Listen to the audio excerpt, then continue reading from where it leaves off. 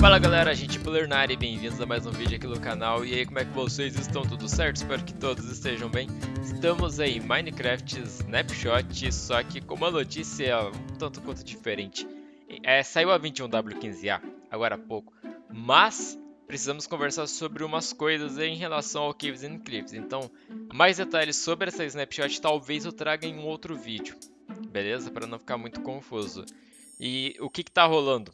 Eu já vou um pouco mais a fundo sobre como é que vai rolar essa atualização do Caves and Cliffs a partir de agora, mas antes da gente começar, já clica no gostei que vocês me ajudam pra caramba, se inscreva se você é novo aqui no canal e não esquece de marcar o sininho para receber todos os vídeos novos assim que eu postar, minhas redes sociais vai estar na descrição. E coloca caverna que depois eu passo assistindo o coraçãozinho aí. E bora pro vídeo. Então, vamos lá. O que que acontece, né? A gente está na atualização Caves and Cliffs e praticamente está sendo uma das maiores atualizações que a Mojang já fez em relação ao Minecraft. A gente já tem novas alturas, o novo limite inferior do mundo, né? Que a gente consegue até o 64 negativo. É, muitas gerações de cavernas diferentes de várias maneiras possíveis e são gigantescas. Montanhas gigantescas que ainda não tem no Java, mas a gente já pôde experimentar um pouco delas no Bedrock Edition. Então, imagina, a diferença que está em relação da 1.17 para 1.16 é um passo gigantesco, sendo que da 1.16 para 1.15 já foi um grande passo em relação ao Nether. E parece que a Mojang não está tendo muita facilidade em lidar com isso. Que é o que eu vou estar tá conversando com vocês sobre hoje. Eles lançaram um vídeo conversando um pouco sobre essa nova atualização e explicando como é que vai ser os próximos passos a partir de agora. A atualização Caves and Cliffs ela vai ser dividida em duas partes. Uma vai ser lançada oficialmente para nós no meio do ano, que está lá no período de férias de verão, no caso do hemisfério norte, né? no caso nosso, férias de inverno. E o restante vai ser lançado mais para o final do ano.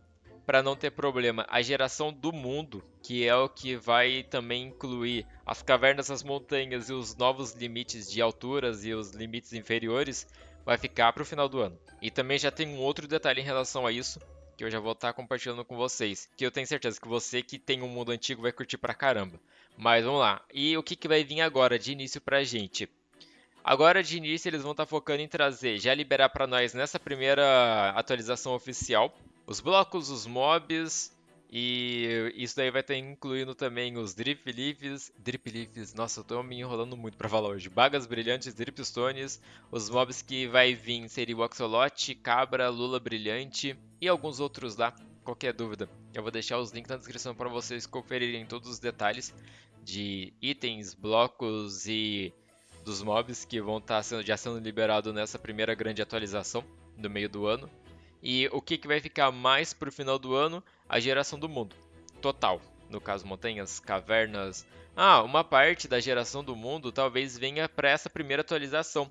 Relacionado aos geodos, é, a geração de cobres e algumas outras coisas que aí eles já não especificaram. Mas toda a outra parte da geração do mundo, que já seria a parte mais pesadona mesmo, vai ficar mais para o final do ano. Aí eles explicam né, as principais razões para essa divisão estar tá sendo feita esse update. Um, seria a qualidade, porque eles não querem postar qualquer coisa, né? Não querem estar tá liberando qualquer tipo de serviço pra gente, eles querem trabalhar com tempo e paciência em cima de cada detalhe. Complexidade, porque, né? Imagina uma caverna gigantesca com vários novos itens e tudo mais, geração, cavernas inundadas e tudo mais, fora as montanhas. E eu não sei o que tanto que vai vir nas montanhas também, se vai ser colocado somente a montanha ou se vai ter detalhes em cima delas. Mas toda essa atualização está sendo muito complexa em relação até às atualizações anteriores. Então já é um dos focos deles que eles querem dar prioridade total. E terceiro, saúde da equipe. Até porque a gente está no meio de uma pandemia. Certeza que nem toda equipe deve estar tá trabalhando no estúdio, ou não sei se, tão, se tem alguém trabalhando em estúdio. Mas é um momento meio delicado. Então trabalhar contra o tempo no período que a gente está atualmente, com pressão e sobrecarga de horas e tudo mais, não seria a melhor coisa a se fazer. Até porque a gente já lidou com muitos bugs no Minecraft e sabe o quanto isso é chato. Então, se os caras fizerem tudo muito rápido, sem prestar atenção direito e liberar para nós com problemas, o pessoal vai criticar demais. Tá aí o Cyberpunk da vida para provar isso, né? Todo mundo botou uma pressão para ser liberado e ninguém para de criticar porque tá cheio de problema. Tá certo que muita gente queria esperar que os caras lançassem tudo direitinho, né? Mas, infelizmente, não foi assim que aconteceu. E eu, pode ser que a equipe da Mojang já viu que essa experiência não foi uma boa coisa acontecendo lá com outro jogo. Então vamos trabalhar com mais paciência e cautela aqui antes que a gente lance qualquer coisa e fique pior do que a gente adiar esse lançamento. Em parte até entendo o lado deles. É, tá sendo uma atualização totalmente hardcore ao meu ver. E uma coisa que eu fiquei feliz pra caramba que eles anunciaram também nesse vídeo, que eles lançaram um vídeo conversando e explicando um pouco esses detalhes, também vou deixar na descrição para vocês, é que caso você tenha um mundo antigo, essa atualização do meio do ano vai ser compatível com o seu mundo antigo, você não vai perder ele, e a atualização do fim do ano também vai ser compatível com o mundo antigo. No caso, eu acho que vai ser aquele problema, né? Você vai nascer no seu mundo normal e vai ter que andar para bem longe tipo, numa área que você nunca foi para gerar as novas coisas. A única coisa que eu fiquei em dúvida seria aos novos limites.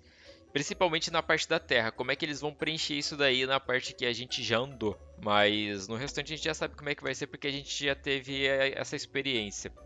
Mas vai ser possível. Caso você tenha um seu mundo antigão para quem me acompanha nas lives, direto eu tô fazendo live na twitch.tv barra Se você não me acompanha, já segue lá que você tá convidado, Pequeno outro direto. Eu tô jogando Minecraft nessa nova atualização lá. E ultimamente eu venho conversando sobre isso porque eu também tava em dúvida. Eu tenho um mundo antigo e eu tava meio triste porque eu ia perder esse mundo, não sabia como é que ia acontecer tudo. E agora pelo menos deu um pouquinho de esperança. Meu mundo não tá perdido, não vou ter que abandoná-lo. Oxi, peguei um peixe aqui vai ser possível a gente estar tá atualizando. E jogo a única diferença é que eu vou ter que me afastar dele, mas é só criar um portal e conectar a nova área com a antiga área e já era, tá tudo feito. E a gente sabe também que tem vários canais com vários mundos antigos aí que, nossa, seria muito triste ver esse pessoal perder o, perder o mundo deles. Pelo menos agora a Mojang deu uma ponta de esperança para nós. Então, vai ser possível, atualização do meio do ano você vai conseguir atualizar e jogar no seu mundo antigo. E na atualização do final do ano também vai ser possível você estar tá atualizando e jogando, continuando no seu mundo antigo. Para quem quiser continuar experimentando as snapshots do jeito que estavam saindo, eu vou estar explicando depois no outro vídeo que eu vou trazer, compartilhando os detalhes da nova snapshot 21W15A que saiu agora há pouco. Só não vou trazer agora que senão vai ficar um vídeo muito longo e confuso e não vai dar pra gente aproveitar direitinho. Ah, tem uma coisa. É, não sei se vocês lembram que eles tinham comentado sobre arqueologia que também ia ter nessa snapshot, ou no caso no Caves and Cliffs. Isso daí parece que eles vão ter que adiar. Eles não especificaram uma data, só falaram que vão ter que adiar por enquanto porque parece que ele é muito mais complexo do que eles estavam esperando e vai ser muito mais detalhado. Eu acredito que não vai nem ser lançado na 1.17. Pode ser que eles segurem ela para 1.18 ou sei lá, pode ser que lancem algum meio termo aí, mas acho que seria teria mais sentido eles lançando ela na 1.18. Vou até deixar um videozinho passando quando eles anunciaram sobre arqueologia. Para quem nem lembra sobre isso daí, que eu nem lembrava também. Então isso daí vai existir, vai ter, mas pode ser que fique mais para frente. Não está anunciado nem para parte 1, nem para parte 2. E não falaram nada se vai ter uma parte 3, por isso que eu estou acreditando que vai ficar para 1.18. Mas já avisando aí, arqueologia, pelo menos eles já deram esse feedback aí que por enquanto não teremos nessas atualizações. Mas só deles é, anunciarem sobre a gente poder estar tá atualizando os mundos antigos, já tô feliz pra caramba. Que isso. Coloca aí nos comentários o que, que vocês acharam sobre isso, se foi uma boa ideia ou não, ou se ficou alguma dúvida também, qualquer coisa já trago um vídeo compartilhando ou tirando suas dúvidas. Daqui a pouco, se tudo der certo, eu já lanço um vídeo falando sobre a 21W15A e como é que a gente vai fazer agora para estar tá acessando as novas atualizações também, que mudou. Por enquanto eu acho que é isso daí. Redes sociais na descrição, clica no gostei, se inscreve e marca o sininho. Por enquanto é só, a gente vai indo nessa e nos falamos nos próximos vídeos aí do canal. Então até o próximo dia, até o próximo episódio, até o próximo vídeo e... Partiu!